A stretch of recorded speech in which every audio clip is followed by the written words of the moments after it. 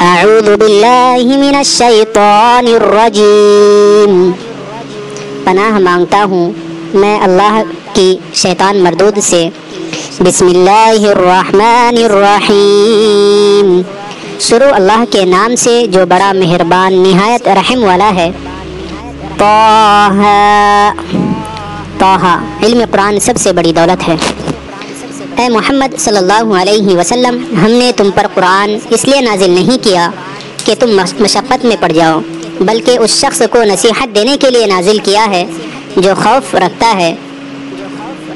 ये उस ज़ात बरतर का उतारा हुआ है, जिसने ज़मीन और ऊँचे ऊँचे आसमान बनाए, यानी खुदा रहमान, जिसने अर्श पर करार पकड़ा। जो कुछ आसमानों में है और जो कुछ ज़मीन में है, और जो कुछ इन दोनों के बीच में है और जो कुछ ज़मीन की मिट्टी के नीचे है, सब उसी का है। और अगर तुम पुकार कर बात कहो तो वो तो छुपे भेद और निहायत पोशीदा बात तक को जानता है। वो मबूद बरहक है कि उसके सिवा कोई मबूद नहीं है। उसके सब नाम अच्छे हैं। और क्या तुम्हें मूसा सलाम के हाल की खबर मिली है? जब उन्होंने आग देखी तो अपने घर वालों से कहा कि तुम यहाँ ठहरो, मैं आग देखी है। मैं वहाँ जाता हूँ। शायद उसमें से मैं तुम्हारे पास अंगारी लाऊं या आग के मकाम का रास्ता मालूम कर सकूँ। जब वहाँ पहुँचे तो आवाज़ आई कि, मूसा, मैं तो तुम्हारा परवरदिगार हूँ। तो अपनी जूती उतार दो। तुम यहाँ पाक मैदान यानी तुआ में हो। और मैंने तुमको इंतखब कर लिया है। तो जो हुक्म दिया जाए उसे सुनो। बेशक मैं ही खुदा हूँ, मेरे सिवा कोई मबूद नहीं। मेरी इबादत करो और मेरी याद के लिए नमाज़ पढ़ा करो। क़यामत यकीनन आने वाली है। मैं चाहता हूँ कि उसके वक्त को पोशीदा रखो, ताकि हर शख्स जो कोशिश करे उसको बदला पाए। तो जो शख्स उस पर ईमान नहीं रखता और अपनी ख्वाहिश के पीछे चलता है, कहीं तुम को उसके यकीन से रोक ना दे तो इस सूरत में तुम हलाक हो जाओ। और मूसा, ये तुम्हारे दाहिने हाथ में क्या है? उन्होंने कहा कि ये मेरी लाठी है, इस पर मैं सहारा लगाता हूँ और इससे अपनी बकरियों के लिए पत्ते झाड़ता हूँ और इसमें मेरे लिए और भी कई फ़ायदे हैं। फरमाया कि मूसा, उसे डाल दो। तो उन्होंने उसको डाल दिया और वह नाग नागहाँ सांप बनकर दौड़ने लगा। खुदा ने फरमाया कि उसे पकड़ लो और डरना मत। हम उसको अभी इसकी पहली हालत पर लौटा देंगे। और अपना हाथ अपनी बगल से लगा लो वह किसी आयब व बीमारी के बगैर सफ़ेद, चमकता, धमकता निकलेगा, ये दूसरी निशानी है। ताकि हम तुम्हें अपनी निशानात अजीम दिखाएँ। तुम फ़िरौन के पास जाओ कि वह सरकश हो रहा है। कहा, मेरे परवरदिगार, इस काम के लिए मेरा सीना खोल दे और मेरा काम आसान कर दे और मेरी ज़ुबान की गिरह खोल दे, ताकि वह बात समझ ले। और मेरे घर वालों में से एक को मेरा वज़ीर यानी मददगार मुकर फरमा, यानी मेरे भाई हारून को, उससे मेरी क़वत को मज़बूत फरमा और उसे मेरे काम में शरीक कर, ताकि हम तेरी बहुत सी तस्बीह करें और तुझे कसरत से याद करें। तो हमको हर हाल में देख रहा है। फरमाया कि, मूसा, तुम्हारी दुआ कबूल की गई और हमने तुम पर एक बार और भी एहसान किया था, जब हमने तुम्हारी वालिदा को इल्हाम किया था, जो तुम्हें बताया जाता है। वो ये था कि उसे यानी मूसा मूसा सलाम को संदूक में रखो। फिर इस संदूक को दरिया में डाल दो तो दरिया उसे किनारे पर डाल देगा और मेरा और उसका दुश्मन उसे उठा लेगा। और मूसा, मैंने तुम पर अपनी तरफ़ से मोहब्बत डाल दी है, इसलिए कि तुम पर मेहरबानी की जाएगी। और इसलिए कि तुम मेरे सामने परवरिश पाओ। जब तुम्हारी बहन फ़िरौन के यहाँ गई और कहने लगी कि मैं तुम्हें ऐसा शख्स बताऊँ जो इसको पाले।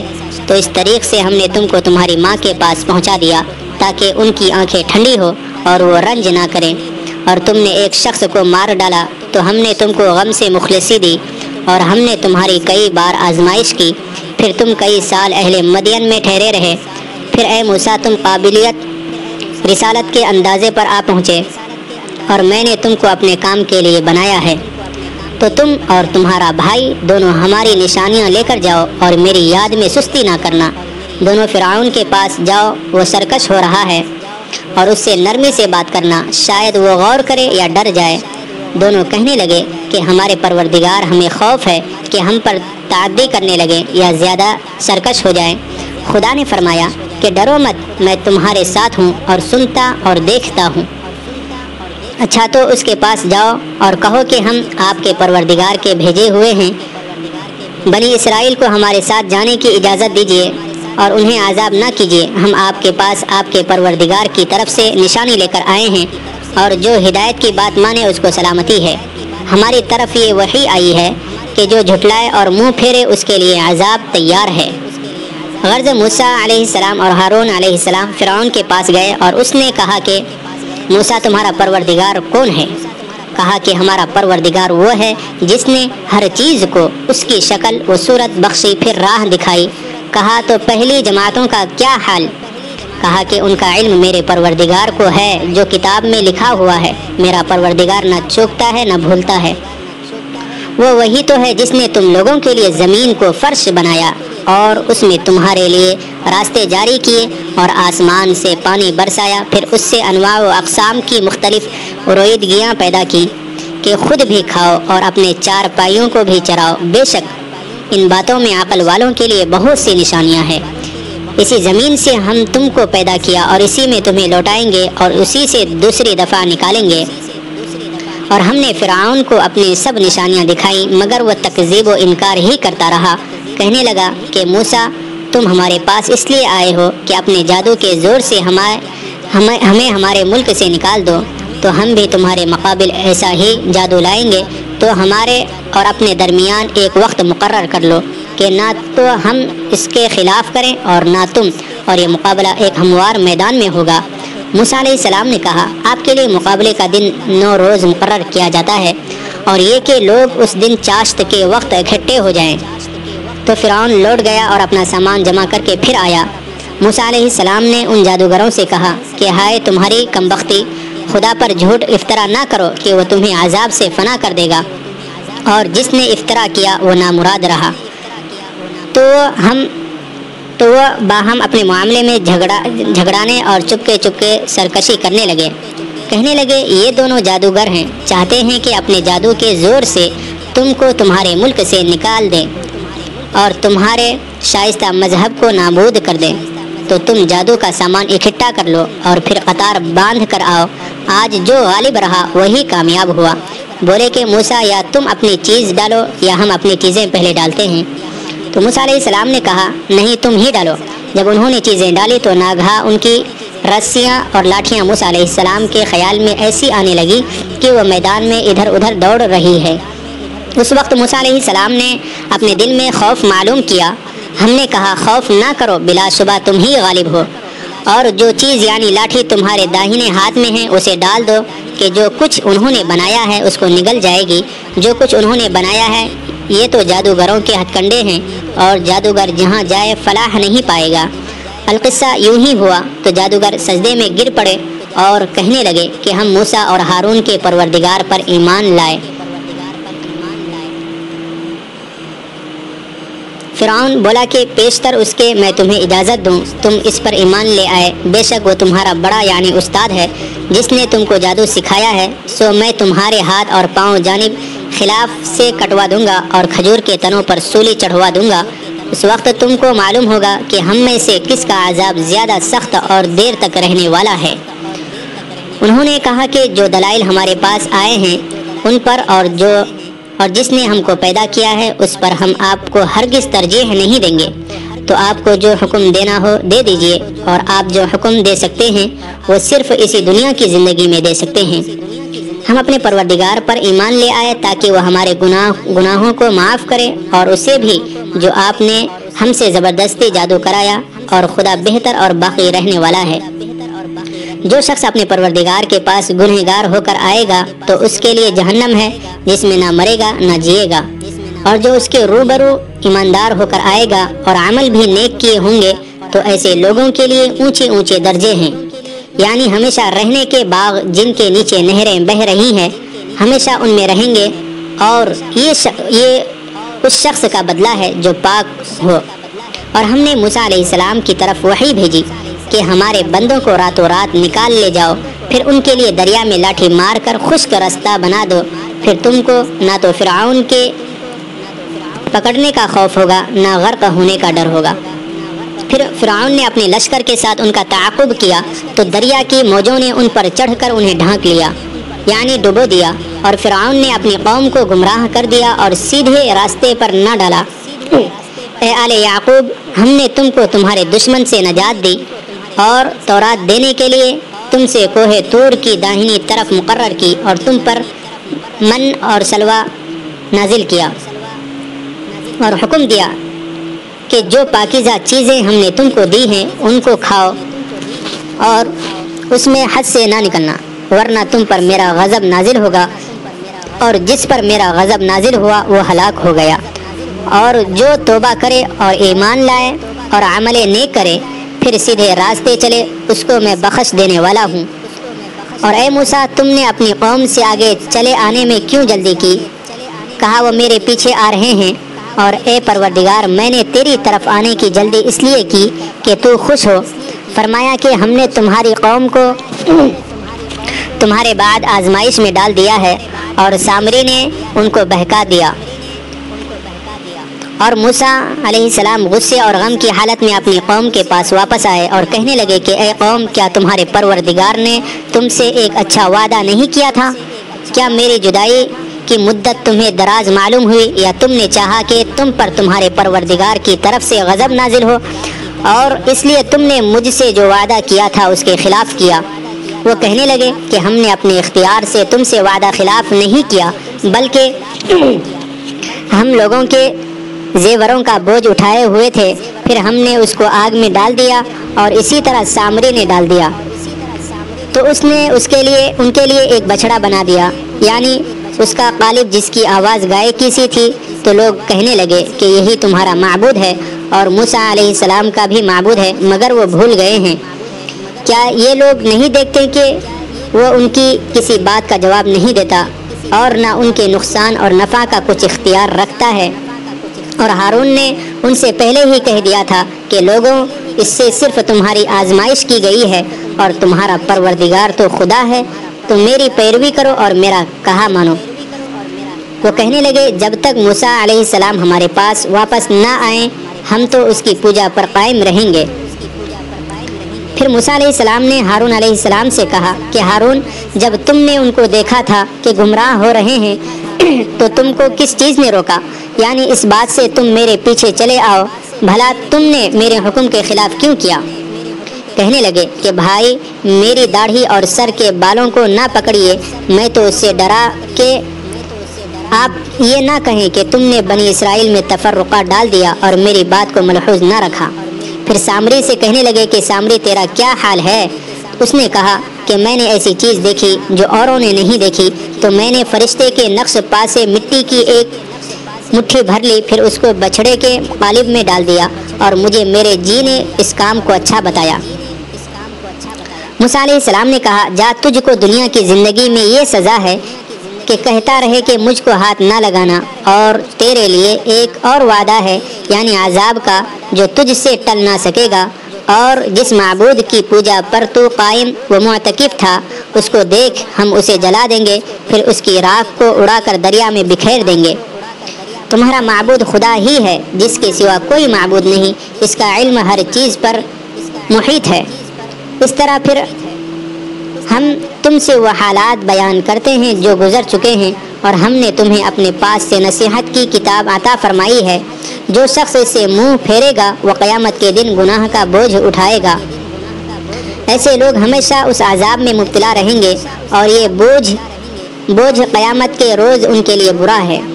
जिस रोज़ सुर फूका जाएगा और हम गुनहगारों को इकट्ठा करेंगे और उनकी आँखें नीली नीली होंगी तो वो आपस में आहिस्ता आहिस्ता कहेंगे कि तुम दुनिया में सिर्फ़ दस ही दिन रहे हो। जो बातें ये करेंगे हम खूब जानते हैं। उस वक्त उनमें सबसे अच्छी राह वाला, यानी आकिल होशमंद कहेगा कि नहीं, बल्कि सिर्फ़ एक ही रोज़ ठहरे हो। और तुमसे पहाड़ों के बारे में दरियाफ्त करते हैं। कह दो कि खुदा उनको उड़ाकर बिखेर देगा। और ज़मीन को हमवार मैदान कर छोड़ेगा, जिसमें ना तुम कजी और पस्ती देखोगे, न टेला और बुलंदी। इस रोज़ लोग एक पुकारने वाले के पीछे चलेंगे और उसकी पैरवी से इनहराफ ना कर सकेंगे और खुदा के सामने आवाज़ें पस्त हो जाएँगी तो तुम आवाज़ खफी के सिवा कोई आवाज़ ना सुनोगे। उस रोज़ किसी की सिफारिश कुछ फ़ायदा ना देगी, मगर उस शख्स की जिसे खुदा इजाज़त दे और उसकी बात को पसंद फरमाए। जो कुछ उनके आगे हैं और जो कुछ उनके पीछे हैं, वो उसको जानता है और वो अपने इल्म से खुदा के इल्म पर अहाता नहीं कर सकते।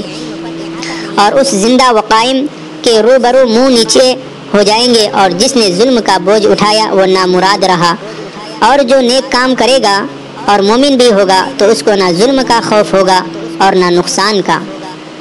और हमने उसको इसी तरह का कुरान अरबी नाजिल किया है।